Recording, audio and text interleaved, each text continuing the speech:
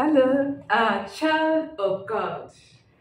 Uh, today is another bright morning that God has given us, that we should be rejoicing and be glad in it.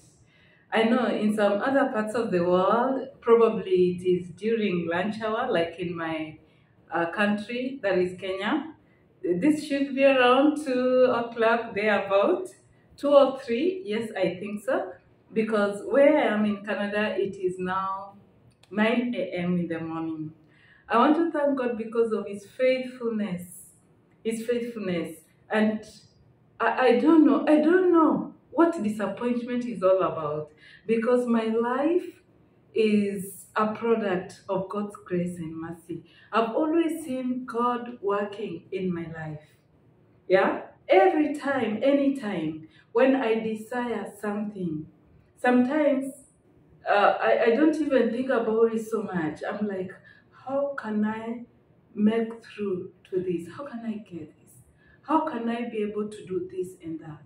And without even taking a lot of time, God just provides a solution. Yeah, I know, I know. God has given me the reason as to why He brought me to Canada. And He had a good reason. I, I've never thought about this.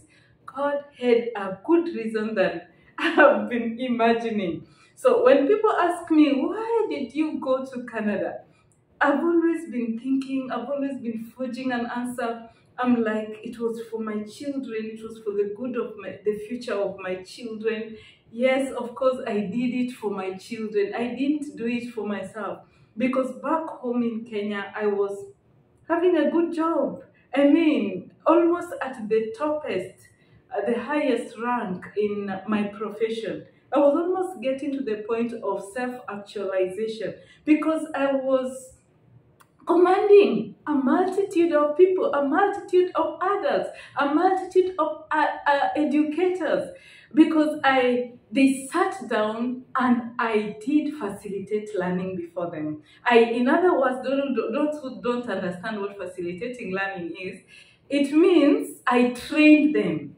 I trained educators from all over the country. I trained um, professors, I trained doctors, I trained education officers at the national level, at the county level, at the sub-county level, at the zonal level, at school level. I mean, I trained principals, I trained head teachers, I trained teachers, I trained students, I trained parents, I trained boards of management, and all those.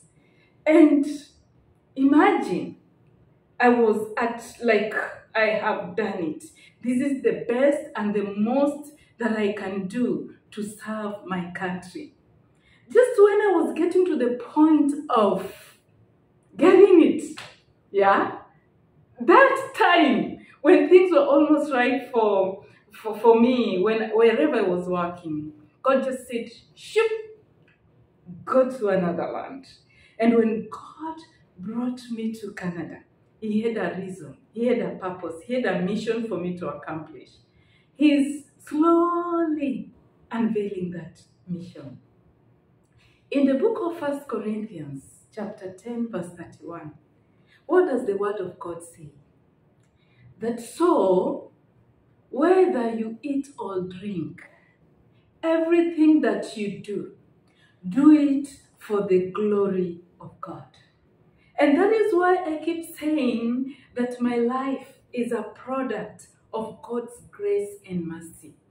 The things that have happened to me in the past, the things that are happening to me in the present, and I know the things that are yet to happen to me in the future, God's hand is there. I don't fear anything. I don't fear anything because what God has created me to be, the purpose for which God created me, He Himself is accomplishing it.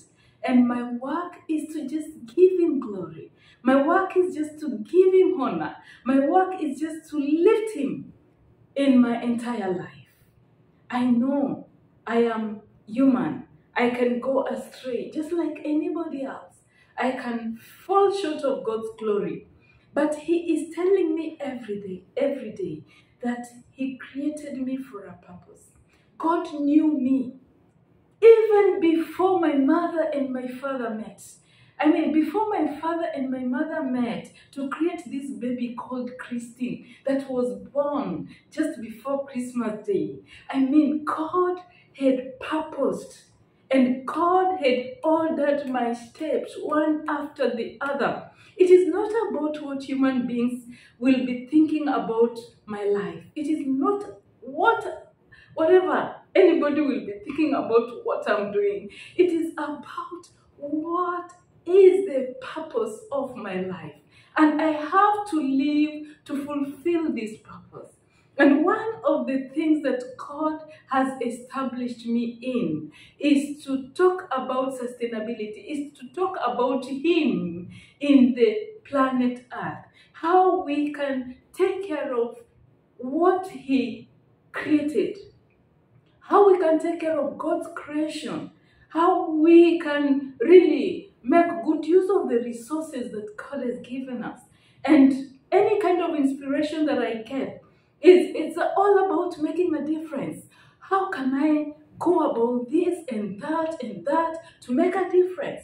And that is why I always stand by my mantra that says, go beyond the obvious. Yes, GBO. I've always said I am a GBO. Let me say girl. GBO girl, GBO lady, GBO woman, they are all mine. Going beyond the obvious. And the students that I've trained, the students that I've taught in school, in high school, in um, uh, the, uh, the, the, the, the, the, national level, everywhere, uh, at any time, I've always emphasized the fact that we have to go beyond the obvious and we must purpose to mad, make a difference.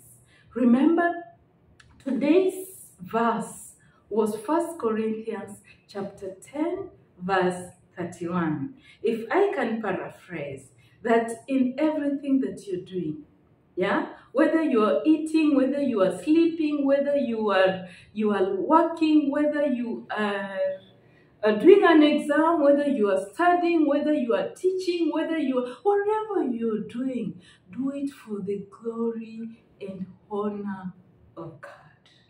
And so that is what God wanted me to tell you today.